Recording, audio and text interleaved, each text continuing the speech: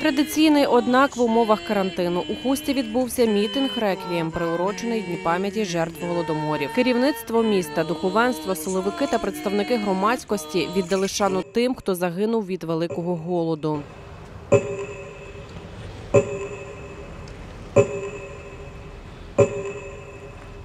Ми сьогодні в черговий раз, як щорік, щороку, нагадуємо про цю страшну трагічну історію нашої країни, щоб ще раз відновити в наших серцях, у наших спомінах, споминах е, то, що відбулося, тому що в принципі той, хто не пам'ятає вчорашнє, не може оцінити сьогоднішнє і не має майбутнього. Так що ми в такій короткій формі сьогодні нагадуємо ще раз, що така трагічна історія в нашій країні була. І не дай Боже, щоб вона повторилася ще раз. Панахиду за упокій душ загиблих відслужив отець Володимир Бабич.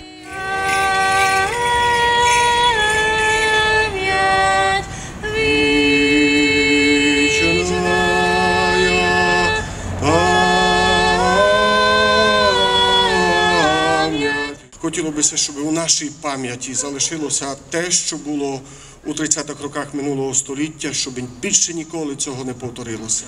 Це означає, що кожен із нас особисто є відповідальний за те, щоб ми могли дійсно творити таку історію, в якій не буде жодного тоталітаризму, жодної зневаги людяності, жодного е, такого гріха, який би знищив людську особу.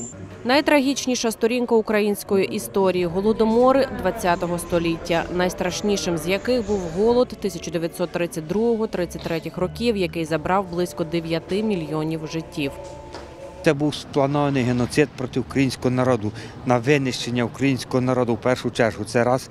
По-друге, режим Сталіна робив такий злочинний крок. Ось ось зерно, яке було це відправлялося за кордон і закупляли особливо військову е, техніку, трактори і інше, е, яка сільськогосподарський реманент. Ну і цей голодомор. Чого це один був не тільки цей голодомор, був голодомор 46-47, був 20-х років, але цей голодомор саме страшніший для нас, для українців. Доходило до того, що навіть е, був канібалізм, що навіть батьки їли своїх дітей. Багато розказували моя мати і моя бабушка за це все. Як їхали із східної України, як викопували мерзлу картоплю, як вони їх там кормили. Багато розказували. Дуже страшно. Також учасники мітингу реквієму долучились до міжнародної акції Запали свічку пам'яті.